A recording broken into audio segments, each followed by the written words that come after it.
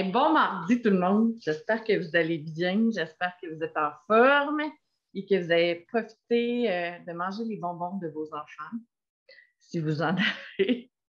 À l'Halloween qui a été pas mal pluvieux un peu partout le Haut-Québec. Déjà le 2 novembre, donc on approche de la fin de l'année. Il reste quelques semaines. Et euh, j'espère qu'on reprend notre souffle de ce début d'année parce qu'on se sent encore en début d'année jusqu'à mi-octobre, fin octobre. Mais là, on va essayer de se donner un air d'aller pour euh, euh, cette, rencontre. Alors, excessivement contente de, vous revoir. Et on va tester en tant qu'élève euh, l'application de fluidité de lecture qui est intégrée maintenant dans Teams.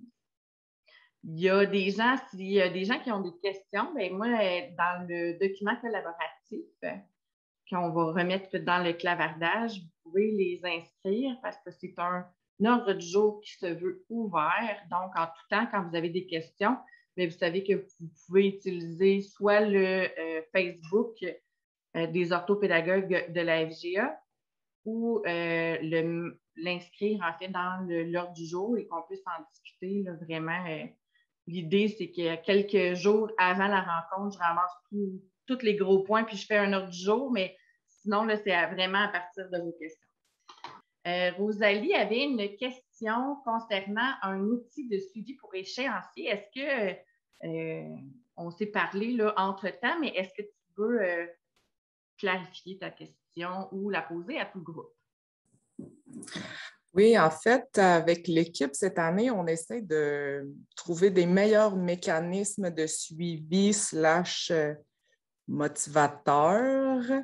Donc, euh, on essayait de trouver quelque chose qui était accessible aux enseignants, aux élèves. On pensait peut-être à une application. On ne voulait pas que ce soit lourd. On voulait avoir accès à toutes les matières. lors de la dernière rencontre, ça m'avait bien inspiré le document Excel. Euh, je trouvais ça super intéressant, mais peut-être un peu lourd de remplir la banque, euh, la banque de données. Puis, on ne peut pas rendre ça nécessairement accessible à l'élève. Peut-être en partie, je ne m'y connais pas trop. Euh, donc, c'était ça ma question. Qu'est-ce que vous utilisez de peut-être un petit peu plus simple? On pensait à déposer des choses, nous on utilise OneNote, donc quelque chose dans le bloc-notes parce qu'on veut rendre l'élève aussi responsable de son suivi, on s'enlignait plus vers ça. Puis on ne veut plus y aller avec un échéancier style euh, nombre de pages. On veut vraiment y aller par euh, compétences et savoir. Ce qui rend, c'est sûr que là, euh, c'est vraiment mieux, mais c'est un petit peu plus compliqué aussi de, d'en faire le suivi pour les professionnels, mettons, quand c'est une compétence précise.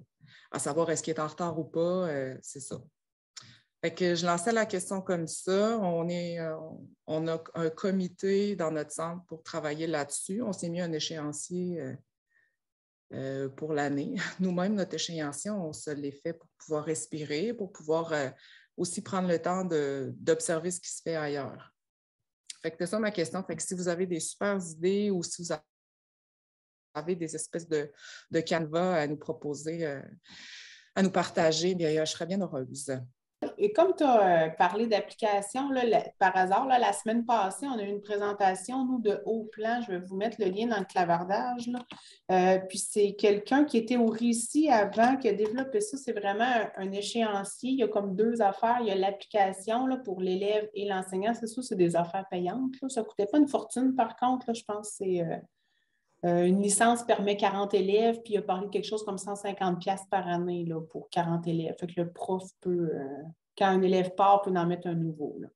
Euh, il sait. Euh, ben, tu pourrais demander une présentation éventuellement si ça vous intéresse. Mais euh, eux, ils ont pensé développer déjà des échéanciers modèles. Fait que tu peux aller récupérer des modèles qui existent et les adapter. L'élève, il peut décider, lui, qu'il se met 10 minutes de lecture au début de la période. Après ça, il peut écrire qu'il travaille sur quelque chose d'autre. Il met ce qu'il veut. Là. Puis tout ce que ça fait, c'est une barre de progression. Puis à la fin, ça y sort un genre de rapport pour dire finalement combien de temps tu as pris de plus que ce qui était prévu. Mais c'est pas, euh, tu sais, l'élève ne va pas tomber dans le rouge, il ne va pas avoir de la pression à dire active-toi plus que ça. C'est vraiment pour qu'il donne une idée. Puis le prof, lui, bien, indépendamment de ce que l'élève a mis comme euh, échéance, tu parlais des compétences, ben, oui, tu peux faire un modèle avec des nombres de pages, un peu comme le document Excel, mais ça peut aussi être par compétence, pour trouver une façon de le libeller simple pour que l'élève, à chaque période, sache un peu comment il s'enligne dans son travail. Puis avec ça venait, ben, l'élève peut prendre soit un iPad ou son téléphone pour voir ça ou un ordinateur. Puis il y a aussi un genre d'appareil qui coûtait là, un peu moins qu'une centaine de dollars, qui est comme euh, une barre. Là. là, tu mets ta feuille imprimée là-dessus, puis là, la barre, elle allume des LED. Là, fait que l'élève ici est rendu où dans sa tâche par rapport à la feuille qui est imprimée. Moi, je vous résume ça très brièvement, là. mais c'est nouveau, ça existe, c'est au plan, ça fait que vous pourrez regarder. Euh, euh, vous regarder ça un petit peu sur le site. Là, puis si vous avez besoin de plus d'infos, on s'en reparlera. J'ai mis dans le clavardage le lien de haut plan. On a eu cette présentation-là, j'ai trouvé ça super intéressant, mais euh, je voulais aussi quelque chose, on travaille vraiment, vraiment beaucoup en équipe. Fait que des fois, les professionnels aiment ça avoir un échéancier euh, pour nous appuyer aussi dans nos, dans nos démarches avec l'élève pour le, suivi motivationnel, l'absentéisme. ça, je trouvais que c'était super bien, mais c'est juste pour la classe peut-être. Ce ne serait pas euh, à partager avec d'autres, à partager avec les autres professionnels. Mais oui, c'était bien. J'ai bien aimé la petite barre aussi. C'est ultra visuel, puis c'est pas euh, enfantin. Merci, effectivement. Bel outil. Est-ce que euh, pour suivre les élèves, pour suivre leur échéancier, pour donner un objectif à l'élève, qu'est-ce que vous utilisez, Jeanne? En fait, là, c'est que hum, moi, je suis sur le comité de à l'école, puis on est en train de. On est une commission, un centre de service, pardon, euh, test pour mosaïque, portail. Mais tu sais, quand le, mosaïque portail va être en marche comme il faut, puis qu'il va être terminé, puis que le soi, qui est comme l'espèce de, je sais pas quoi, là, qu'on va pouvoir mettre des notes, puis euh, ça va nous faire des statistiques, ça va nous faire des, des, euh, graphiques des élèves, de nos classes, de nos groupes de l'école. On va être capable de, faire des, euh, des, de voir comment nos élèves progressent, mais pour le comportement, pour l'absentéisme, pour le nombre de, pourcentages qui sont rendus dans leur, euh, dans leur euh, sigle, dans leur cours et tout ça. Je pense que ça va être cet outil-là qui va être le plus utilisable et le plus pratique parce que ça va être les intervenants, les profs, les directions, les élèves qui vont avoir accès à ça. Les élèves aussi vont avoir accès à une partie. On va pouvoir leur envoyer des messages. Ils vont pouvoir nous envoyer des messages à partir de ça aussi. Fait moi, je pense qu'on va, en tout cas, ici, moi, je ne crée rien parce que euh, je sais que ça, ça va être utilisable. Pour l'instant, c'est sûr qu'on utilise Tosca pour se parler entre nous avec les intervenants, se mettre des notes et tout ça. Mais l'élève n'a pas accès à un échéancier nécessairement là-dessus. Mais euh, éventuellement, pour un, accès à tout le monde, Mosaïque Portail, je pense que ça va être pas mal ça l'idéal. Ben, ça, c'est bien. Puis ça fonctionne bien, votre, votre test avec Mosaïque présentement? Avec euh, la pandémie et euh, le, personnel, c'est un peu au où ça pourrait, parce que là, les gens du centre de service là, en informatique sont un peu, pas sur le break, mais tu sais, on surchargés, je vais dire ça comme ça. Fait que ça a été, euh, on a fait des tests l'année passée, les absences, puis tout ça, là, nous, on prenait les absences sur Mosaïque, les profs prenaient leur présence, absence, retard, tout ça sur Mosaïque, on ne peut pas rentrer de notes encore, on peut pas, tu sais, fait que là, on est comme en deux, là, on n'a rien travailler encore, puis on attendait la liste des, euh, de tout ce qu'on peut mettre dans le soi, de tous les critères, de toutes les catégories, de tout euh, genre euh, le comportement, puis tout ça. Fait que là, on attend les listes parce qu'il faut qu'on trie ça en comité, voir qu'est-ce qui est utile à FGA puis qu'est-ce qui ne l'est pas. Parce que parce qu'il y a des affaires du secteur jeune qui ne s'appliquent pas à nous, il y a des choses du secteur jeune qui n'existent pas ici. Fait que là, il faut comme faire le, le tri tout ça, fait qu'on attend encore les listes. Là. On n'a pas eu de rencontre encore cette année. Là. La, rencontre date de, du printemps passé. Fait qu'on est comme en stand-by. Puis, tu sais, les prises de présence, il y avait quelques bugs là, dans le mosaïque là, pour l'instant. Fait qu'on était, on n'est pas. Euh, c'est pas top encore, là, mais je pense que ça va être un super outil quand ça va être fonctionnel. c'est ça. Est-ce que quelqu'un d'autre travaille ou a travaillé sur un outil? Est-ce que c'est pertinent? Est-ce que, est-ce que vous trouvez ça, euh, êtes-vous appelé à donner des objectifs aux élèves ou à suivre en échéancier? Est-ce que ce sera encore papier? Bref, je pense que c'est un peu euh, disparate dans, les centres, mais euh, Rosalie, si on voit quelque chose tu sais, si avec ton comité, tu te rends compte encore, euh, je pense que ça serait intéressant d'en parler. Euh. puis de nous tenir au courant au fil d'année. Si on voit quelque chose, ben, on va en reparler. C'est super, merci. Je fonde beaucoup d'espoir sur Mosaïque, là, Jeanne. Ça m'a, euh, ça m'a parlé, là. J'espère, j'espère. super. Écoutez, Annick et Robin sont là aujourd'hui. Deux, super, on en a trois parce qu'Avi est là aussi. Euh, donc, deux ici qui vont nous présenter, ils vont nous faire tester l'outil de fluidité de lecture intégré dans Teams. Ben oui, ça nous fait plaisir de vous présenter ça. Au début de la rencontre, on a demandé aux gens de mettre leur courriel là, euh, dans le clavardage si jamais vous voulez faire le test. En fait, il va y avoir deux choses. Les gens qui ont réussi à se connecter à l'équipe Teams, ben, eux pourront faire le devoir. Comme ça, on va voir ce que ça donne. Ceux qui n'auront soit pas réussi à se connecter ou qui n'auront pas reçu l'invitation, peu importe, bien, vous pourrez quand même agir en mode observateur pour voir comment ça se passe. Fait que vous avez les deux possibilités.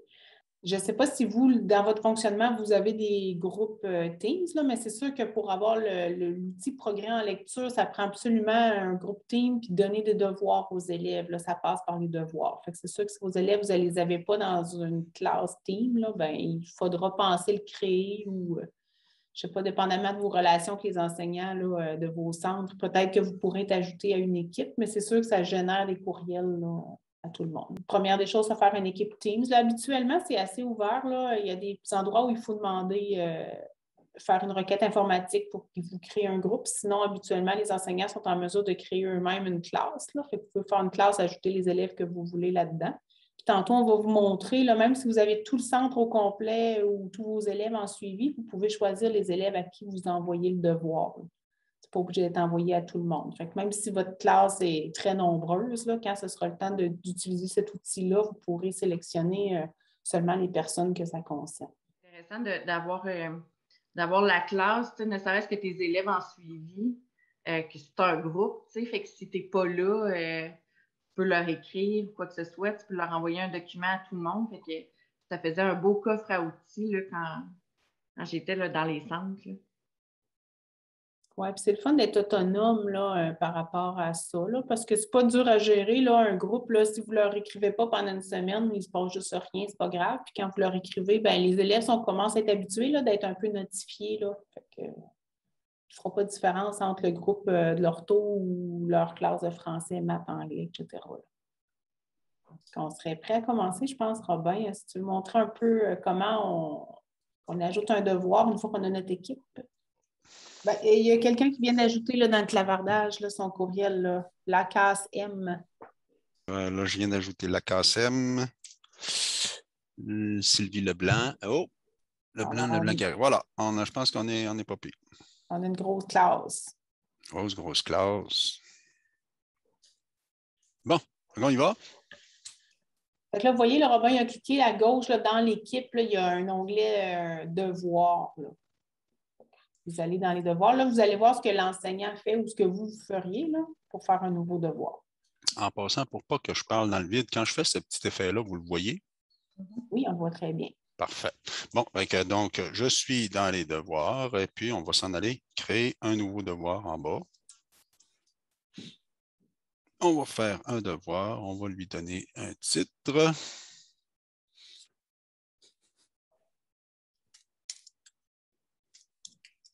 L'appel APC Ortho, ce devoir-là, ça vous va? Instruction. Lisez le texte suivant. C'est bon, on ne fera pas dans le très compliqué. Annick, euh, tu m'interromps si jamais euh, je vais à des places où je ne vais pas aller, si je vais trop vite ou si je mets des choses. Donc, euh, vous devez être familière là, avec la remise de devoirs dans Teams. C'est une remise de devoirs, somme toute, assez ordinaire. C'est juste que je vais ici venir joindre, puis dans joindre, je vais choisir progression de la lecture. Ça, il ne faut pas mettre le, fichier de lecture, il faut vraiment passer par progression de lecture, puis là, eux vont vous demander de déposer le fichier. Euh, on a dit qu'on pouvait charger des Word ou PDF. Je n'ai pas testé avec toutes les versions, mais on m'a dit qu'avec Word, c'était préférable. Donc, euh, on va prendre le texte qu'on a ici. Et puis, dans les options ici, là, je peux dire, ça, c'est un texte pour euh, les étudiants intermédiaires, mettons. Euh, le genre, est-ce que c'est une fiction ou non? Bon, on va dire que c'est. je ne sais pas exactement quelle incidence ça a. On peut restreindre le nombre de tentatives de l'élève. Je vais la mettre, par exemple, à deux. Être assez sévère. Et puis la sensibilité à la prononciation, je vais la mettre par défaut, mais elle peut être modulée par la suite. Euh, on va la laisser comme ça. Puis, est-ce qu'on exige une vidéo ou on demande seulement de l'audio? Ça, c'est, euh, je regarde là, puis parmi les visages que je vois, faites-moi signe, est-ce qu'on demande la vidéo ou pas? On demande la vidéo, Karine l'emporte. On va le faire pour cette fois-là. Puis en plus, ça vous permettra de juger par la suite si avec vos élèves, vous préférez voir l'élève parler ou si seulement l'entendre, c'est suffisant. Non, non, un petit peu, avant de l'envoyer, là, euh, dans le bas, on peut modifier le texte. Hein. Fait dans le bas, il faudrait enlever l'extrait, là, euh, le, lien hypertexte. On ne voudra pas qu'il dise le lien hypertexte. Fait qu'on pourrait le supprimer. Puis on confirme avec la petite case qu'il y a là. Là, je peux soumettre? Oui, ça me va. OK. On y va avec suivant. Puis vu qu'on y est, là, c'est plus fort que moi, j'en profite pour vous euh, faire remarquer une petite modification qu'il y a eu ici, deux petites modifications en passant. On a le droit de se permettre des à côté? Ben oui. Donc, euh, ici, ajouter un devoir à des calendriers, on peut préciser, ajoute l'échéance de ce devoir-là dans le calendrier de l'élève, dans le calendrier de l'élève et dans le mien, ou dans le calendrier des élèves et dans le calendrier des propriétaires de l'équipe. pour l'instant, on ne le fera pas, parce que ça va être ennuyeux pour rien. Je vais quand même repousser la date de remise à, au vendredi 5, journée du numérique. Mais ce n'est pas vrai, là. En fait, on s'attend à ce que vous le fassiez tous tout de suite. Et puis, euh, autre euh, nouveauté aussi dans tous les étudiants. avant, on pouvait faire tous les étudiants ou sélectionner les étudiants auxquels on voulait soumettre le travail. Maintenant, on peut faire des étudiants individuels, tous les étudiants, bien entendu, des étudiants individuels, et on pourrait aussi créer des groupes d'étudiants. Mais euh, pour l'instant, on va y aller avec tous les étudiants. Donc, j'affecte. Roulement de tambour, c'est parti. Vous devriez recevoir probablement un courriel aussi qui vous dit, dépendamment de comment vous avez mis vos notifications, qui vous dit que vous avez un devoir. Comme vous êtes pas mal tous dans l'équipe, vous devriez pas mal tous en mesure de faire le devoir. Est-ce qu'il y en a qui ont reçu le courriel pour dire que vous aviez un devoir à faire? Émilie, euh, oui? Parmi ceux qui reçoivent le courriel, c'est de suivre le lien pour réaliser votre devoir. J'ai reçu le courriel, mais ça semble difficile. Il m'envoie à plein de places. En tout cas, je ne sais pas si je vais être capable de, tomber sur l'équipe sur le devoir. Sur mon application Teams sur l'ordinateur, il semble pas, l'équipe ne semble pas se rajouter. Mais en tout cas, je vais continuer de progresser, voir si je peux y arriver. je vous suggère d'essayer de l'ouvrir avec euh, l'application web. Quand il va vous demander là, euh, ouvrir Team Bureau ou l'application web, choisissez en ligne puis connectez-vous à votre compte euh, de commission scolaire. Ça devrait être plus facile en ligne. Il y a comme un délai pour que le team bureau prenne euh, l'équipe. Je ne sais pas si ça avait été précisé, hein, pour voir l'équipe, il faut aussi changer d'organisation parce que là, c'est le centre scolaire de Lac-Saint-Jean qui, euh, propose l'activité. J'avais oublié de faire ça au début. Ah, euh, pour ceux qui ne le savent pas, peut-être qu'on pourrait montrer comment changer d'instance. Est-ce que tout le monde sait comment changer d'instance? Non? Ben, en fait, c'est ici, là, dans, euh, dans le haut, là où il y a votre euh, petit avatar, vous venez, puis là, vous choisissez Centre de service Lac-Saint-Jean pour basculer dans l'instance euh, CSLJ. Comme on vous a à l'équipe, il devrait apparaître là, CSS Lac-Saint-Jean invité dans la liste, mais ça se peut qu'il y ait un délai. Peut-être que vous allez le voir juste demain. Là. Mais pour aujourd'hui, si vous allez dans Team en ligne, ça se pourrait que vous ayez accès vraiment plus rapidement je pense que pour les fins de la démonstration, à partir du moment où au moins une des personnes, idéalement, si été le fun que tout le monde puisse l'essayer, mais à partir du moment où on aura au moins une ou deux personnes qui auront réalisé l'activité, on pourra poursuivre. Oui, puis euh, comme je suis dans cette équipe-là, je vais essayer d'aller le faire comme ça, on aura le mien en plus. Est-ce qu'il y en a qui ont reçu le devoir? En fait, moi, je, maintenant, je vois l'instance. J'ai changé d'instance en allant dans l'application web. Euh, je vois le groupe, mais je n'ai pas l'icône à la gauche de voir comme j'ai dans les autres instances. Par contre, dans les fichiers, je vois le fichier texte qui a été déposé. Il ne faut pas prendre celui-là parce qu'il n'est pas euh, interprété comme une progression à lecture. Hein. Hmm. Mais le devoir comme tel, il apparaît pas. Est-ce que je peux faire une. Mais je n'ai pas de devoir dedans. Il me dit qu'il n'y a pas de devoir dans cette classe-là. aussi. Probablement, c'est des délais là, de Teams. Là. Des fois, il y a des comportements étranges, surtout quand on est inter-instance. Là. Excusez, vous savez ce que Teams me dit quand je vais dans ce devoir-là? Nous distribuons votre devoir aux élèves slash étudiants. Veuillez revenir ici plus tard. Ah, bon, ben écoute. Ce que, je, ce que je propose, c'est qu'on puisse passer à un, deux autres points, puis quand euh, qu'on soit tout à l'affût quand on, reçoit une notification que quelqu'un lève sa main. Est-ce que, vous avez, est-ce que ça va? Annick et Robin, ça vous va aussi? Oui, c'est parfait pour J'espérais ta suggestion. Écoute, Avi va nous présenter un, autre petite application, puis ensuite de ça, il y a Virginie euh, qui va nous parler de assurément quelque chose à faire dans notre centre. Oui, bonjour tout le monde. Merci, Karine. Mon nom, c'est Avi Spector. Je suis avec les CS anglophones.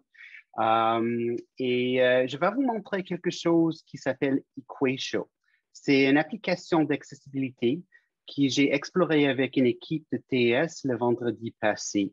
So, je vais partager mon écran. Euh, oui, comme ça. Et je vais prendre juste cinq minutes pour montrer les choses qu'on a explorées ensemble. Est-ce qu'il y a des gens ici qui ont déjà utilisé Equatio?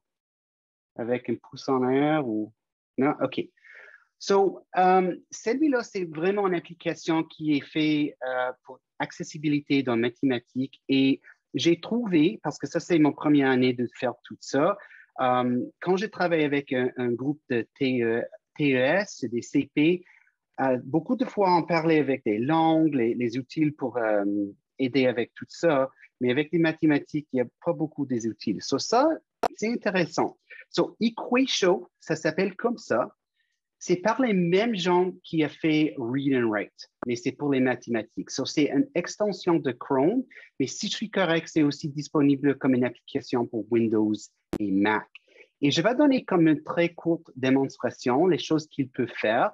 Et euh, oui, on va aller comme ça. So, pour commencer, euh, j'ai un, Google Doc et ici dans mes extensions, j'ai déjà installé Equatio, so j'ai euh, une extension Equatio. je peux activer Equatio et ça va donner moi un barre utile comme ça. La chose qui est très fun avec Equatio, c'est euh, ça marche en anglais et français.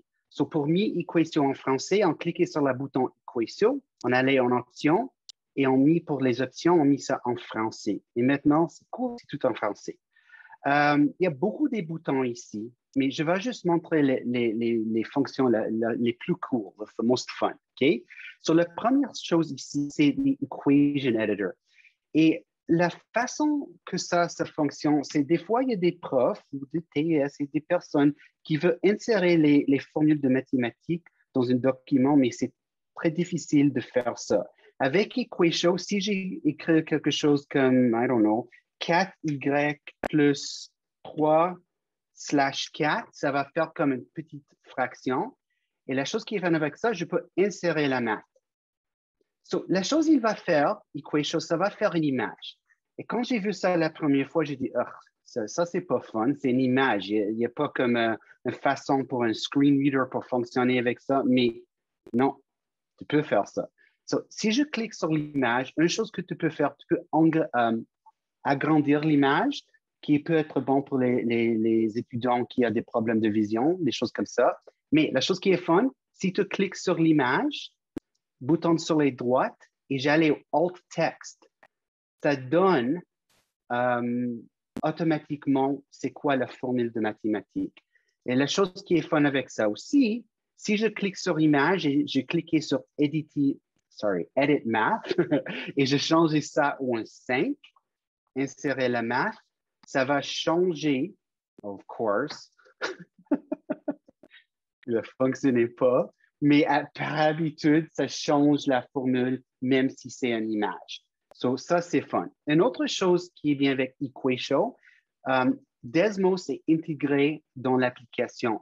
So, si je mets comme, um, euh, je ne sais pas, une formule de mathématiques, comme tantôt, je peux, change it to 3x, je peux insérer graphique et ça va insérer, um, come on, aïe, aïe, aïe, aïe, Ça arrive tout le temps quand vous faites une démonstration. Les choses ne fonctionnent pas, mais tu peux insérer des, um, des graphes de Desmos avec Equation. On va essayer une autre fois. J'ai reloadé mon document. Insérer graphique. Tada, there you go. Ça, ça fonctionne. Ça, c'est fun. Une autre chose qui est bon, handwriting. Tu cliques sur cette petite icône-là. So, si je fais quelque chose comme 3, 4, plus 2 euh, comme ça, avec un square root, ça va encore faire la formule comme ça et je peux insérer dans le document. OK? Et la dernière chose pour accessibilité qui est très cool, c'est si je suis sur une page de web, je suis même pas dans euh, un Google Doc et l'étudiant veut lire cette équation ici, il peut cliquer sur le bouton de équation. Ça va activer, oups, ça va activer la barre utile il y a quelque chose qui s'appelle lecteur de capteur écran. J'ai cliqué ici. Je vais faire un carré autour de ça. Et après ça, moi, dans mes écouteurs, ça lire la fumeur dans mes écouteurs. So, la rétroaction que j'ai reçue avec l'équipe que j'ai travaillé avec vendredi dit Wow, c'est très cool. Il y a peut-être certains étudiants qui peuvent utiliser ça un de les TS de mathématiques m'a dit le problème le plus grand, c'est habituellement avec les, les, euh, les étudiants ne peuvent pas euh, comprendre des, euh, des problèmes, word problems, je ne sais pas dire en français, mais en mathématiques, avec pas, juste les équations comme ça.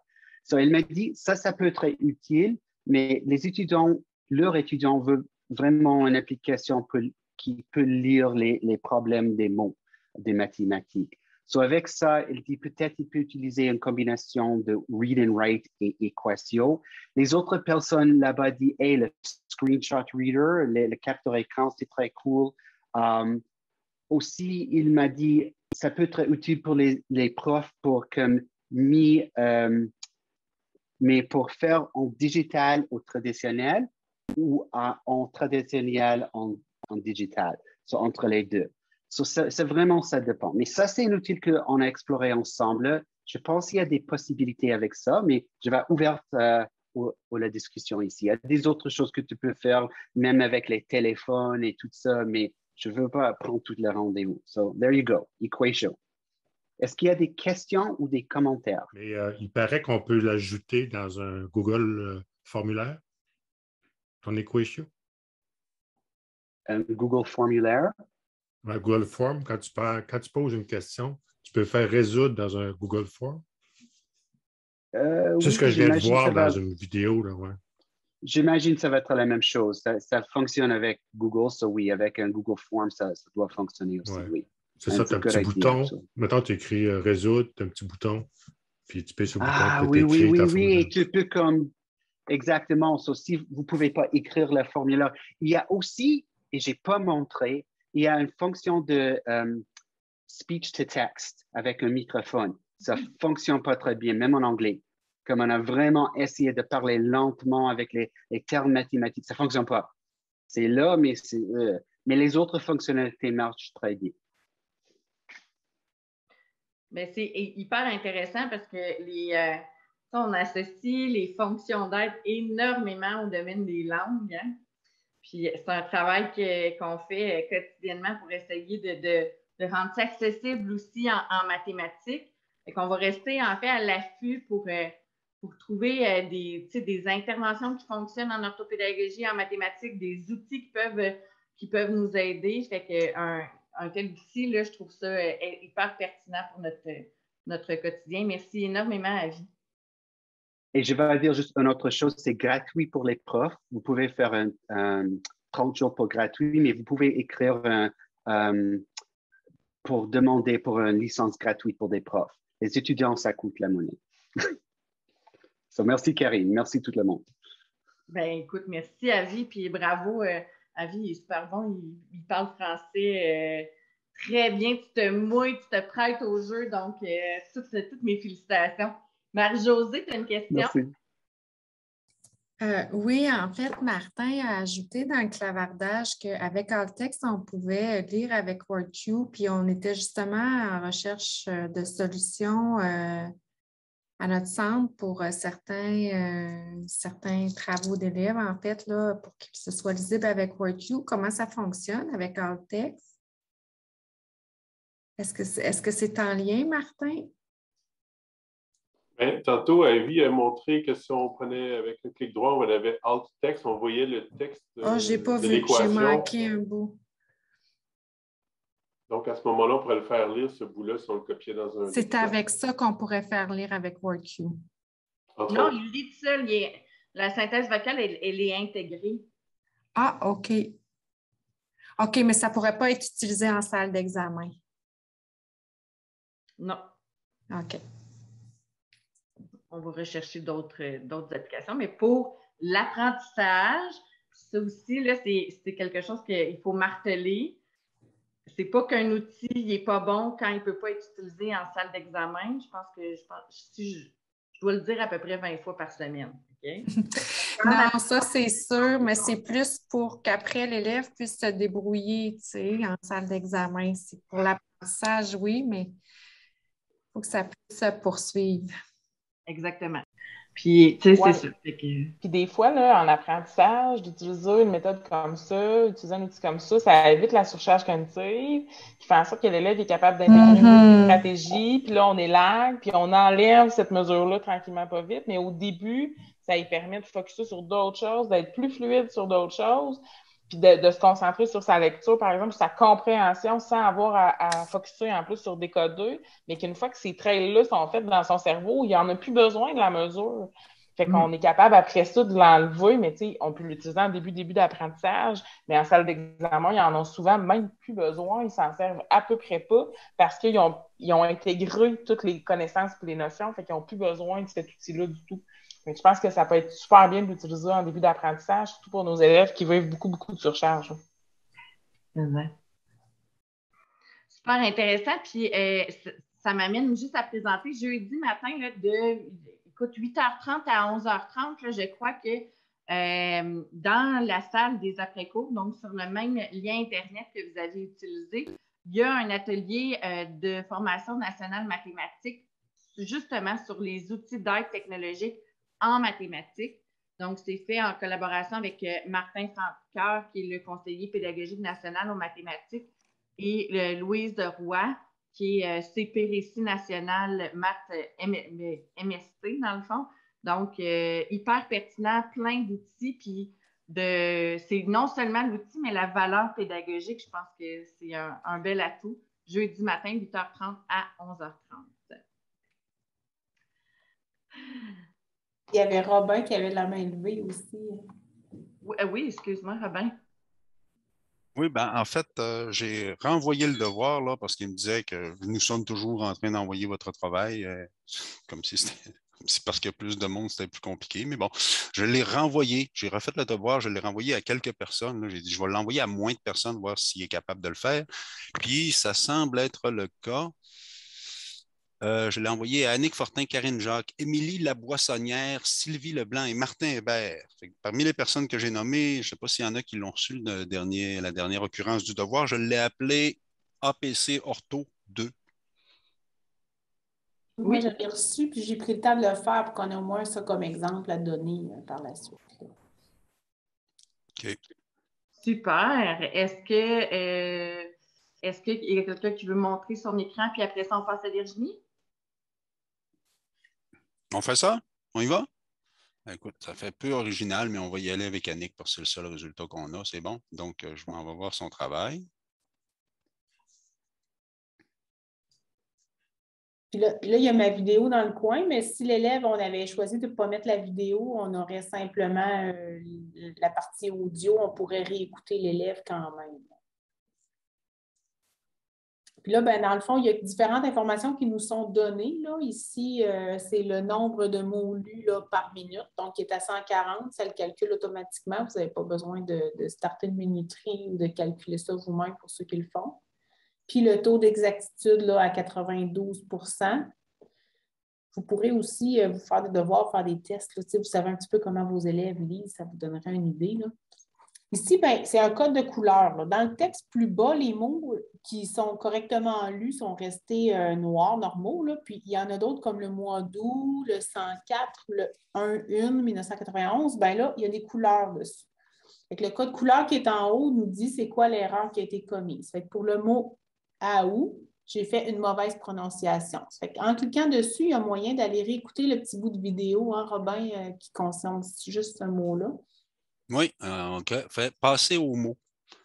Euh, vous allez voir, c'est assez fun. Fin août 91, au contact de la BIWIC conduite avec grâce par Viviane. A comme démarré direct. Le mot, j'avais dit ou au lieu de à ou. peut-être que le, le, logiciel a compris que je l'avais prononcé pas comme il faut. vous pouvez aller réécouter votre élève pour voir vraiment ce qu'il a dit, là, parce que le logiciel est quand même pas mal puissant, là, mais ça peut vous donner une idée. Ensuite, ce qui est en turquoise, ben, c'est des insertions. le logiciel, il a comme compris le mot 104, 1, 1. Et si vous voulez, on va reculer. Là, je vais aller à partir du mot euh, fin, puis on va entendre le bout. Comment est-ce qu'elle a pu insérer 104, 1, 1 dans cette phrase-là? Moi, je ne comprends pas comment tu as pu faire ça, mais on, va l'écouter. En cette fin août 91, au contact de la BIWIC conduite avec grâce. Moi, je n'ai pas entendu 104. Ben, en fait, c'est parce qu'elle a omis 1991, puis il a compris 104 en une quand elle a dit 1991.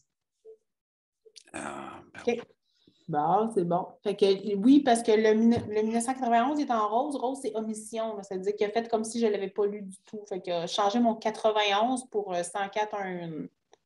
Ce qui, quand même, ça ne ressemble pas beaucoup. Là. Euh, puis ensuite, le Biwick m'a dit mauvaise prononciation. Là, ça fait que encore là, c'est un genre de mot qu'on pourra aller réécouter. Ensuite, il y avait le de que je n'ai pas nommé, là, euh, de la chair. Je ne l'avais pas nommé le de. Il y a de la ferraille, la chair, un thème de voix, à une aura comme celle en. Tu n'as pas dit de la chair, tu as dit de la chair. Oui, c'est ça. Puis des fois, euh, là, j'ai fait le test en le disant quand même correctement, mais euh, quand je l'avais essayé avec Robin, tu te souviens, par bout, j'avais lu vite, vite, vite, vite, vite. puis euh, même quand l'élève lit très vite, c'est aussi efficace. Ne serait-ce que, ne serait que si c'est. parce que les autres commentaires d'autres orthos qui, l'ont utilisé, c'est sûr qu'il en laisse passer, puis qu'il y en a que, tu sais, Buick, probablement que moi, je l'aurais laissé, laissé bon. Mais c'est juste que ça évite en fait de prendre des notes sur l'élève et de les avoir, d'utiliser comme deux applications. Parce que des fois, il y en a qui utilisent Audacity, il y en a qui utilisent euh, les vidéos insérées dans leur, euh, dans leur téléphone, quoi que ce soit. Donc, ça permet de vraiment tout rassembler au même endroit, ne serait-ce que ça, je pense que c'est un gros plus. Oui. Puis à gauche, ben, les petites options, dans le fond, là, la sensibilité à la prononciation là, que Robin montrait, là, ben, là, pour les élèves, on peut l'ajuster un petit peu, qu'ils soient plus ou moins sensibles. Par contre, euh, vous pourrez le laisser avec des élèves, mais nous, les tests qu'on a faits, il n'y avait pas vraiment de différence entre un ou l'autre. Peut-être a des gens qui ont vraiment beaucoup, beaucoup de difficultés à prononcer, ça pourrait faire une différence. Là. Ou pour des élèves plus jeunes, peut-être du primaire, mais je pense que pour nous, ça ne fait pas une grosse différence. C'est quand même là. Puis l'idée, je pense, derrière ça, c'est vraiment de d'une fois à l'autre, de regarder le taux d'exactitude. L'élève devrait finir par s'améliorer. Puis ça, ben, comme vous avez accès à vos devoirs, vous pouvez retourner dans le temps, regarder ce qui avait été fait un mois ou deux auparavant, puis regarder s'il y a des, améliorations. Ça fait pas mal le tour. On pourrait demander à l'élève qu'il recommence euh, comme n'importe quel devoir. Stéphanie demande est-ce que l'élève voit les codes de couleur et les résultats? Ou c'est vraiment juste l'enseignant? C'est vraiment juste l'enseignant. Fait que si vous voulez le regarder avec l'élève, il faut s'asseoir avec lui. Parce que l'élève, lui, la seule chose qu'il peut regarder, c'est euh, sa note que Robin pourrait donner. Ben, idéalement, je me permets, je m'insère, Annick. Euh, idéalement, moi, j'aurais offert une rétroaction, peut-être même en vidéo. Tu j'aurais fait une capture d'écran, puis j'aurais revisé ce texte-là. Tu peux l'acheminer après à l'élève. Mhm. Oui, parce que c'est ça, l'élève, ce qu'il voit, c'est si le prof il donne une note comme mettons 80% ben, il va voir qu'il y a eu 80 sur sa lecture, mais il ne verra pas c'est quoi ses erreurs. Euh. ce que vous voyez, il ne verra pas. Mais par la capture d'écran, là, en retournant ça à l'élève en privé, par exemple, c'est pas long à faire, puis il pourrait voir euh, son résultat. Je ne pense pas que ce soit un outil qui a la prétention d'être très précis, d'être euh, super sa coche, mais à tout le moins, euh, ce qui n'a pas de marque là, de chaque côté, de tout, tout ce qui n'est pas marqué, ça, ça veut dire que tu l'as bien lu, puis euh, généralement, c'est le cas. Là. Fait que ça va attirer l'attention sur des zones où, mettons, l'ordinateur n'est pas certain si tu l'as bien lu. Moi, c'est comme ça que je l'interprète. Je ne suis pas certain que ça a été bien lu dans ce coin-là, mais c'est pour ça qu'il y a un prof derrière là, pour venir et le réécouter et dire non, non, ça c'était très bien. Là c'est extrêmement rapide. Là. Si votre texte, là, je n'avais mis un petit, là, mais si le texte, ça prend cinq minutes à l'élève à lire, là, ben, vous autres, la correction est instantanée. Vous n'avez pas besoin de le réécouter toutes les cinq minutes que l'élève dit, puis de l'arrêter pour prendre vos notes. Là. Puis même en super bel outil. Richard, tu as une question?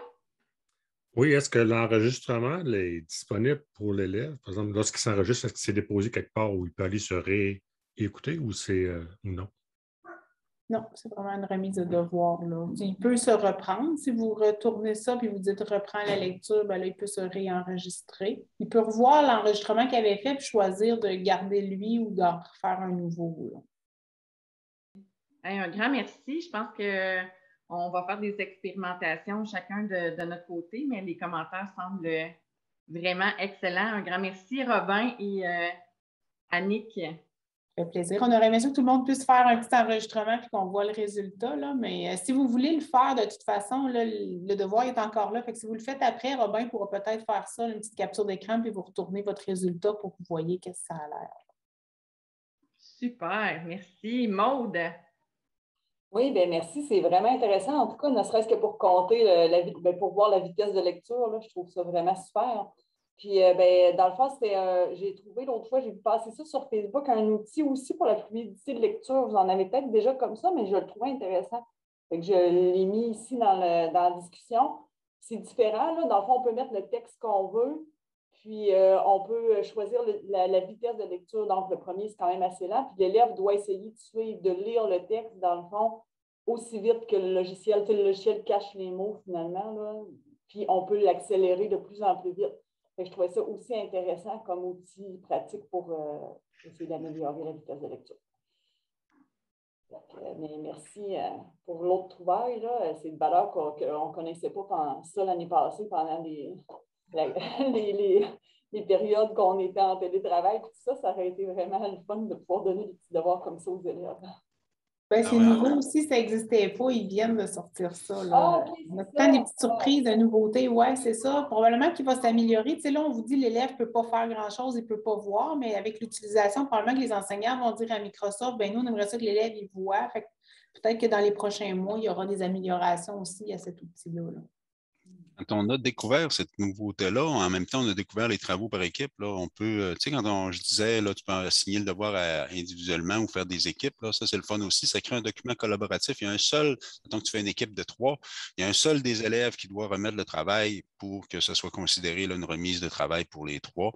Puis c'est un document collaboratif. Il y a un petit tweak, par exemple, il faut faire attention, il faut prendre le soin. Vous savez, quand on affecte un document, par exemple Word, dans un devoir, il faut aller dans les trois petites billes au bout, puis dire l'élève, chaque élève peut modifier sa copie.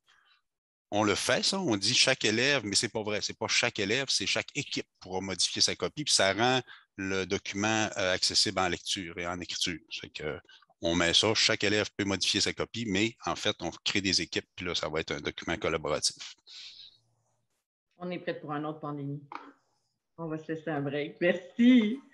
Virginie? L'outil peut être très intéressant en anglais aussi, euh, je trouve, euh, pour la prononciation, là, parce que oui, la fluidité en français, mais on ne faut pas oublier que c'est comprendre, surtout adulte, là, euh, oui, on peut le travailler, mais je trouve qu'en anglais, cet outil-là est vraiment génial pour aider les élèves dans leur prononciation. Oui, cette semaine, en préparation, on l'a fait avec Robin, puis là, on s'était dit, bon, qui lit le texte? On n'est pas des pros de prononciation en anglais. Puis étonnamment, j'ai eu 100% Je me trouvais tellement bonne. tu sais, ça devait être bien prononcé pareil. Lui, il doit se dire, peu importe l'accent que as en anglais, là, il considérait que la prononciation était correcte. On fera un exercice du même type en en jouer avec la sensibilité. Là. Eh oui. Merci. Karine, tu viens de partager une ressource? Oui, en fait, j'avais, euh, on m'avait envoyé le même lien que Maude a partagé tout à l'heure. Euh, puis je suis allée perdre un. Ben, je, me suis contrôlée. Là, il y a vraiment beaucoup de temps à perdre sur le site dont j'ai donné le lien. Il y a plein d'outils, entre autres en lecture, là, pour ceux qui font encore les versions papier euh, du, de la fluidité en lecture. Il y a possibilité d'entrer manuellement un texte, puis il va nous compter au bout de la ligne il y a combien de mots dans chacune des lignes. Il y a plein d'outils, autant en français qu'en maths. Là, si, je sais que personne n'a de temps à perdre, là, mais c'est du beau temps à perdre des heures à s'amuser, à aller voir tout ce qu'il y a disponible sur ce site-là. Ouais, ben merci, euh, merci énormément. Euh, n'hésitez pas, puis tu sais, je, le rajouterai sur le site Internet, euh, tous nos, ben, nos, coups de cœur ou quoi que ce soit, là, donc dans le site des après-cours puis sur le site des services éducatifs complémentaires. Virginie, donc, ben, je vous présente le service Coup de pouce, qui est un service qui est offert au Centre Saint-Louis depuis quand même euh, une bonne quinzaine d'années. Mais euh, avec la pandémie, on a mis un peu ça sur la glace. Le, responsable est parti à la retraite, donc on a comme une, offre euh, revampée coup de pouce. Euh, coup de pouce, c'est un des services de la clinique d'aide pédagogique euh, de notre centre, qui est comme le soutien direct à l'élève en complément du soutien de la classe. C'est Marie-Josée qui est avec moi, Marie-Josée Langlois, qui est l'enseignante responsable de la clinique d'aide et qui est la responsable en même temps du service coup de pouce. Donc, coup de pouce, c'est un soutien qui est donné par des élèves à d'autres élèves. Donc, c'est vraiment un soutien là, euh, par aidant axé sur les apprentissages. N'importe qui peut être aidant, n'importe qui peut être aidé. Ben, n'importe qui. Un élève qui a une certaine facilité avec la matière peut en aider un autre qui a certaines difficultés avec la même matière. Donc, euh, c'est vraiment euh, un service, c'est ça qui est offert à tous, euh, qui est en réponse aux, besoins que les élèves nous ont mentionnés, notamment le, besoin d'interaction tout dépendamment, surtout en, en FBD, le, besoin d'interaction, d'être d'être en, en, échange avec quelqu'un, euh, c'est aussi pour les élèves qui ont besoin d'un petit peu plus de temps et d'explications pour intégrer la matière. Donc, ça répond à ces besoins-là. Puis, on offre également un volet qui est plus technologique. Donc, nos élèves qui ont besoin de se familiariser avec certaines fonctions d'aide ou euh, donc, peuvent, peuvent avoir de l'aide d'un élève qui est plus, euh, expérimenté avec sa, la même fonction d'aide puis qui est en mesure de, l'aider. Donc, euh, c'est ça, il y, a, vraiment un système de référence. Là, vous avez dans l'infographie qui est en lien dans l'ordre du jour, vous avez aussi des liens. Là, ce qui est souligné, ce sont des liens qui vous mènent vers nos outils. Donc, on vous les partage là, si jamais ça peut vous, inspirer. Donc, euh, c'est vraiment Marie-Josée qui est responsable de publiciser le service, qui reçoit les références, qui va faire les pairages en fonction de ce qu'elle a, de ce qu'elle reçoit comme, euh, comme référence, de ce qu'il y a comme besoin. Euh, je ne sais pas, Marie-Josée, tu voulais-tu compléter par rapport à ça? Bien, c'est ça. En fait, moi, ce que je fais au début de l'année ou deux, trois fois par année, je vais faire une petite tournée de classe. Puis là, je présente aux élèves notre service coup de pouce. Puis là, ben, c'est à ce moment-là que je vais faire du recrutement d'élèves. Donc, euh, je leur dis qu'il faut qu'ils soient motivés. Bien, il faut d'abord qu'ils soient présents en classe, qu'ils soient motivés, hein, parce que c'est certain que la présence en classe va être euh, un préalable pour pouvoir venir au service coup de pouce. Donc, euh, les élèves sont, sont, recrutés là, sur une base volontaire. Puis, euh, une fois que je les recrute, ben là, je leur explique plus en détail. Ils viennent au local, je leur fais visiter le local, je leur explique plus en détail un petit peu c'est quoi leur rôle par rapport là, euh, euh, au fait d'être tuteur. Puis là, ben, à ce moment-là, ils sont libres ou pas d'accepter. Mais euh, c'est ça, ils ne sont pas obligés d'être super bons dans la matière, mais de vouloir rentrer en relation d'aide avec un autre élève, de vouloir euh, l'aider à se motiver. Puis parce qu'ils sont vraiment, là, on va vous le dire après, là, sont vraiment accompagnés par moi lorsqu'ils viennent au local, ils ne sont pas laissés tout seuls là, comme un travail d'équipe en classe. Ils sont vraiment accompagnés. Donc, euh, c'est ce qui fait en sorte qu'ils ne sont pas obligés d'avoir des 100% dans la matière puis tout ça. On veut vraiment des élèves qui ont le goût de rentrer en relation avec d'autres. Le local, euh, il y a vraiment un local qui est dédié à coup de pouce sous la supervision de, Marie-Josée. Euh, c'est ce qu'on a retravaillé là, pendant la pandémie. C'est comme tout un peu l'ambiance et l'aménagement du local. Il y a un horaire euh, qui, bon, on a trois blocs de cours, nous, deux le matin, un l'après-midi, donc il y a un horaire qui est vraiment adapté là, à la clientèle, aux besoins de la clientèle. Et le local est divisé en zones. Ce que vous voyez, les petites images, là, c'est vraiment nos zones euh, de travail. Donc, tu sais, Marie-Josée pourrait accompagner trois diades, par exemple, en même temps, puis faire autre chose à son poste de travail également. Euh, tout est aménagé, tout est euh, planifié vraiment pour que les élèves, l'emphase est mise sur la collaboration, évidemment, l'ouverture, l'autonomie, l'engagement, la responsabilisation, puis c'est vraiment un local axé sur la mentalité de croissance. On le sent bien quand on entre. vous avez juste une petite photo, là, mais quand, euh, si vous pouviez visiter tout le local, on vous a mis d'autres photos dans les liens, dans le lien aménagement. Euh, Marie-Josée, je ne sais pas si tu veux compléter par rapport à ça. Bien, en fait, c'est ça. Là, oui, il va y avoir des on est encore en train de compléter le local, mais là, on, veut vraiment développer la mentalité de croissance, là, euh, focaliser sur euh, justement le fait que euh, je viens au local, mais c'est pour apprendre. Si je fais des erreurs, ben c'est pas grave. On travaille beaucoup par rapport à ça. Fait qu'il y a des outils d'afficher puis de présent pour les élèves, entre autres, avec cet objectif-là, là, oui. Euh, Marie-Josée parlait de l'accompagnement euh, qui est vraiment personnalisé. Donc, en plus d'assurer la concertation avec l'équipe, bon, les intervenants, soit psychosociaux qui vont référer l'élève, les autres enseignants, euh, elle accompagne Marie-Josée vraiment la diade euh, les petits outils que vous avez à gauche, c'est comme les aides-mémoires, l'aide-mémoire pour le tuteur, l'aide-mémoire pour euh, l'élève qui est aidé. Les élèves vont se fixer des objectifs, ils consignent eux-mêmes leur présence via un système dans Classroom. Et euh, là, on est, Marie-Josée est en train de travailler le développement de, la, formation puis l'évaluation des tuteurs parce qu'il y a des unités qui sont attachées à ça au bout du compte. c'est axé, là, ben, je vais peut-être laisser Marie-Josée en parler de son accompagnement de ces outils. Je pense que tu es mieux placée que moi pour le faire, Marie-Josée. Oui, bien en fait, c'est ça. Là. Dans le fond, vu que les, élèves tuteurs, euh, ils s'engagent, ben, dans le fond, c'est comme une petite formation qu'on va leur donner là, pour qu'ils deviennent un petit peu plus compétents. Puis en même temps, c'est des, habiletés qu'on leur donne là, pour, euh, pour la vie de tous les jours, mais euh, c'est ça. Dans le fond, on, je les accompagne, là, dans le fond, je les aide à accompagner leurs élèves.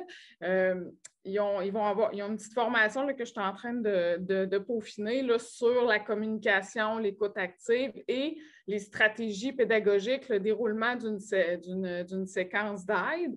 Puis, entre autres, dans la séquence d'aide, ben, c'est aider votre élève à se fixer un objectif SMART, puis à le réévaluer à la fin de la période.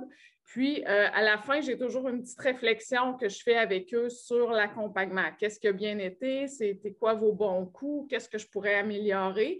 Puis, j'aide le tuteur à faire le lien avec la, formation euh, qu'ils ont là, par rapport à l'écoute, la communication. Puis, le tuteur a toujours un petit, un petit, euh, devoir, ben, devoir à faire. Il y a peut-être deux, trois devoirs là, durant tout l'accompagnement, mais c'est pour le, voir évoluer là, dans son rôle. Donc, euh, c'est vraiment intéressant. Les, jeunes, les élèves aiment vraiment ça, puis ils s'impliquent beaucoup. Ouais. Puis, euh, Marie-Josée, tu avais planifié, je pense, et en développement, mais une de tes petites évaluations qui va permettre, là, outre les heures d'accompagnement et tout ce que tu as fait avec l'aidé et l'aidant, je pense que tu voyais comme un peu le tuteur, pas le tuteur, mais le CV du tuteur, ou c'était un petit peu ça que tu envisageais comme euh, évaluation? Tu veux-tu juste en glisser un mot avant que je parle des unités? Oui, bien, en fait, c'est ça, là, tu sais, dans le fond, euh, avec la formation, ben, c'est le, tuteur de, s'évaluer comme personne, comme comme euh, aidant, ben, c'est quoi tes qualités, comment tu te perçois? Fait que là, tu sais, j'avais comme un espèce de, devoir qui était comme un espèce de CV, de dire, ben, dans le fond, euh, toi, c'est quoi tes qualités, qu'est-ce que tu penses que, que, tu as besoin pour être un bon tuteur, puis tout ça. Puis à la fin, ben, on va refaire ce CV-là, dire ben, qu'est-ce que tu as développé finalement comme compétence là, lors de ton passage là, au local puis dans ta relation d'aide. Donc, ça se veut évolutif. Donc, euh, c'est vraiment intéressant au point de vue du développement humain, de la sociabilisation. Fait que c'est pas juste au niveau de l'apprentissage. Fait que c'est ce qui est intéressant. On est encore en, Karine, là, euh, oui, on utilise des codes PER, mais on est comme encore en pleine tergiversation. on n'a pas réglé encore lequel, parce qu'il y a des élèves qui vont aider une première année, ils vont aider une deuxième année. Donc là, on est en train de se démêler là-dedans, mais ça ressemble aux codes qui sont inscrits là. là euh, pour l'instant, il reste des petites précisions à aller chercher. Je vous ai laissé quand même le courriel, c'est en lien dans la fiche, le courriel de Marie-Josée ou mon courriel si vous avez des questions sur, ou plus, vous voulez plus de précision ou il y a des outils que vous aimeriez avoir, ça va nous faire plaisir de vous répondre. Je ne sais pas s'il y avait des questions. Oui, bien, j'avais des questions. Marie-Josée, toi, tu es enseignante. Euh, c'est quoi ta, fonction là, au, centre? Bien, en fait, euh, j'ai une formation en enseignement du français, mais je suis aussi orthopédagogue là, de, de ah. formation. Ouais. Ah, d'accord, c'est ça. Je me demandais, là, dans ta tâche, toi, euh, dans ce projet-là qui a été monté, c'est toute l'équipe qui l'a monté. Est-ce que c'est dans le cadre des subventions, de mesures spéciales ou c'est vraiment l'équipe qui a monté ça? Euh, ben, vas-y, Marie-Josée. Hein. Oui, ah. ben, c'est ça, c'est un peu des deux. Euh, on a, euh, tous ces services-là existaient déjà.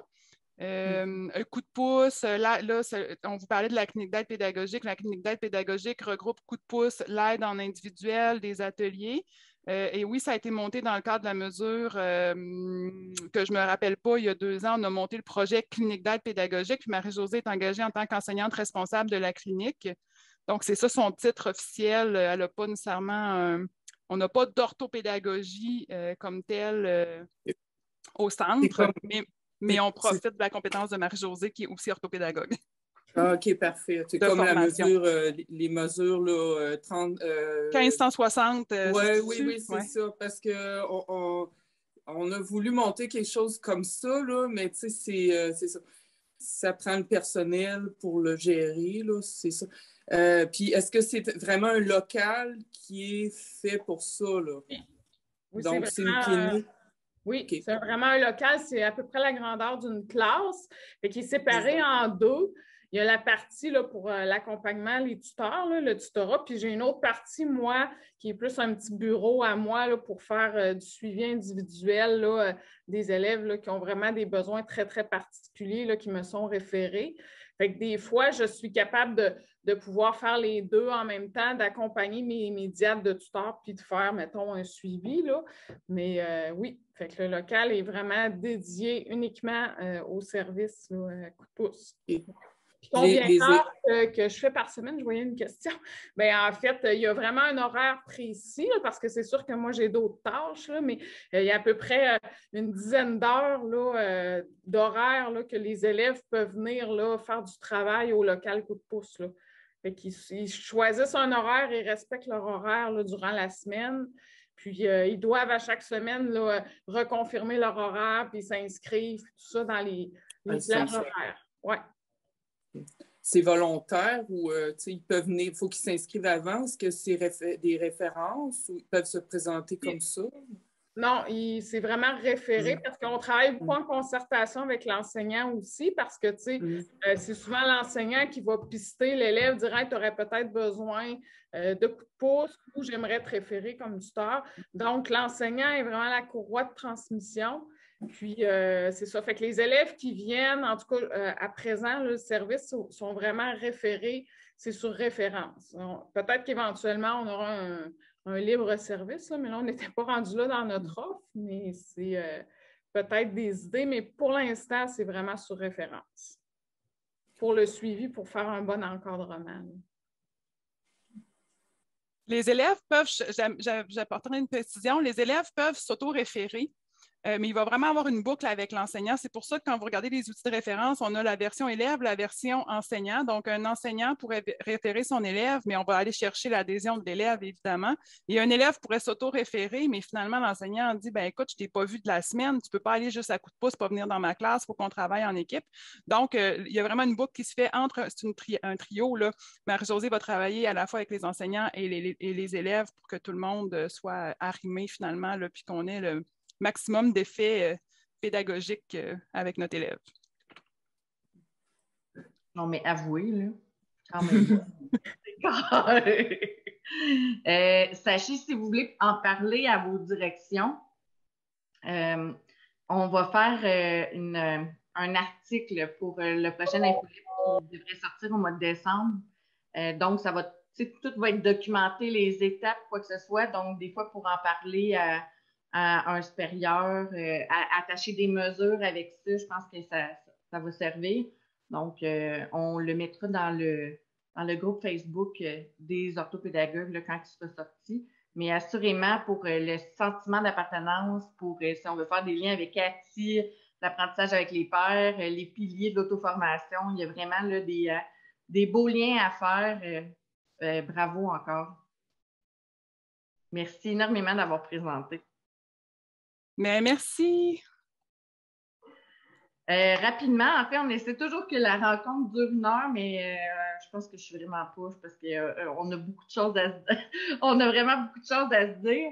Il y a, plusieurs webinaires qui s'en viennent dans l'heure du jour. Donc, webinaire sur le VR et la participation des l'implication des intervenants. Donc, c'est quelque chose à ne pas manquer le 22 novembre à, de 13h à 15h il y a un webinaire le lendemain sur la bienveillance. Euh, c'est le mot à la mode, mais je crois que euh, on, en prend de plus en plus conscience qu'il faut être bienveillant envers nous-mêmes, envers notre milieu, envers les enseignants, euh, envers nos élèves. Donc, le 23 novembre de 9h à 11h. et il y a les, appels d'atelier de la TRIAC et de la CRGA qui ont été, qui sont sortis. Donc, des projets que vous faites dans vos centres pour soutenir les adultes, je pense que euh, c'est vraiment de beaux congrès. S'il y en a qui ne sont jamais allés au congrès de la KFGA, on a la chance d'avoir le président avec nous aujourd'hui. Martin, veux-tu vendre le congrès? Karine est invitée au congrès, donc ça vaut déjà la peine de venir. Euh, si je peux dire plus, ben c'est sûr que c'est un congrès qui est super intéressant parce que c'est des, intervenants de la FGA. Donc, euh, on n'a pas besoin d'avoir la, retourner à l'habituel, là. Ah ben ça, on le fait avec les jeunes, adaptés aux adultes. Non, c'est des, projets qui sont faits par des gens qui interviennent pour les adultes. Fait que c'est super intéressant. Puis j'imagine qu'à un moment donné, vous allez aussi pouvoir regarder parce que le, le congrès a lieu les jeudis, vendredis 28 et 29 avril, mais le 27 avril, on a toujours l'intention de faire comme on l'avait fait à Lévis, euh, proposer un local pour vous rassembler, les gens qui sont en orthopédagogie, si vous avez des idées de choses dont vous pourriez profiter euh, du fait que c'est collé sur le congrès, vous vous déplacez une fois, mais vous avez le temps de vous rencontrer une journée complète euh, le mercredi, ben, faites des propositions. Euh, on est ouvert à, soutenir les rencontres. On est bien, bien content quand les orthopédagogues ont une chance d'échanger entre eux autres et de travailler ensemble. N'hésitez pas à nous soumettre des, propositions pour une, une journée pré-congrès en orthopédagogie. Voilà. Ben écoute, c'est sûr que ça a lieu puis que je vois des mains levées. Euh, est-ce qu'une journée pré-congrès le 27 avril pourrait euh, vous plaire? Euh, une journée d'échange, de partage, de formation plus poussée? on passera, ben, on passera au vote ou quoi que ce soit, mais c'est sûr que quand on va avoir le go, on va mettre tout ça en œuvre et c'est sûr que ben, on va avoir besoin de, vous pour pour l'organiser l'orchestrer, mais on se souvient encore de Lévi, pour euh, ceux et celles que ça fait quelques années, puis euh, on voudrait revivre cette expérience-là, assurément, assurément. Peut-être une mention, parce qu'on n'en a pas parlé, mais j'ai vu dans l'ordre du jour, euh, Maud est là, elle pourrait peut-être nous parler un peu de, de comité de mentorat que KFG est en train de mettre sur pied. Oui, ben justement, j'avais mis le lien pour la capsule pour inviter les gens. Dans le fond, la KFGA a plusieurs comités sur lesquels on peut s'impliquer. Puis moi, je vais faire partie de celui sur le mentorat qui est tout nouveau. Donc là, on est à la recherche de gens qui ont envie de s'impliquer là-dedans pour bâtir, ça pourrait être quoi dans le fond le comité mentorat? L'idée de base, c'est d'avoir des mentors finalement pour pouvoir accompagner les nouveaux qui arrivent en FGA. Donc, on pourrait le faire, pas besoin que ce soit dans les mêmes centres, ça pourrait se faire même dans différents endroits au Québec puis euh, aussi de bâtir des outils qui pourraient être vraiment utiles à, donner aux gens qui arrivent en FGA, là, pour euh, tout, pas juste pour les orthopédagogues, tous les corps d'emploi, enseignants, tout ça. Donc, bref, là, euh, je vous invite, si jamais il y en a qui ont envie de travailler là-dessus, à communiquer avec nous, dans le fond, avec moi, ou on est trois, Marie-Ève, Myriam et moi, pour ce comité-là, pour qu'on puisse bâtir ça ensemble. C'est tout nouveau. On parle d'insertion socio-professionnelle. wow! C'est un, grand besoin dans tout le réseau de l'éducation, mais en FGA euh, aussi, euh, surtout qu'on n'en a pas entendu parler beaucoup dans nos, euh, dans nos parcours universitaires. Donc, un grand merci. N'hésitez pas à vous impliquer à l'association. Hein. L'association a besoin des implications. Puis une implication, ce n'est pas 20 heures par semaine, c'est vraiment à, votre, ce que vous pouvez donner, c'est hyper important pour la survie et pour que ça soit périn. J'aime ça, le mot périn. congrès de la TRIAC, Institut il y, a, il y avait un, point à l'heure du jour qui était sur Facebook puis qu'on n'a pas eu le temps de faire parce que euh, Catherine, fallait qu'elle quitte, donc ça sera remis le 17 décembre prochain. Euh, c'était euh, pour le pont entre la FBC et la FBD. Donc, le Centre de services des SAMAR a mis en place un code de cours pour vraiment faciliter le transfert en FBC, FBD, ou pour accueillir nos élèves qui arrivent directement du secteur des jeunes en FBD, pour qui la marche, elle est vraiment immense. Je pense que c'est vraiment un gros besoin. Donc, ce sera euh, partie remise le 17 décembre à 9 h. Alors, euh, à tous et à toutes, un beau mois de novembre. Euh, sachez que en tout temps, vous pouvez vous poser des questions, écrire quoi que ce soit. Puis moi, mon travail, c'est vraiment de vous réseauter entre, vous. Donc, quand vous avez une question puis que je ne sais pas la réponse, ben, je l'envoie dans l'univers, puis l'univers généralement répond. Prochaine rencontre le 17 décembre à midi. Alors, ben, bon mois de novembre tout le monde.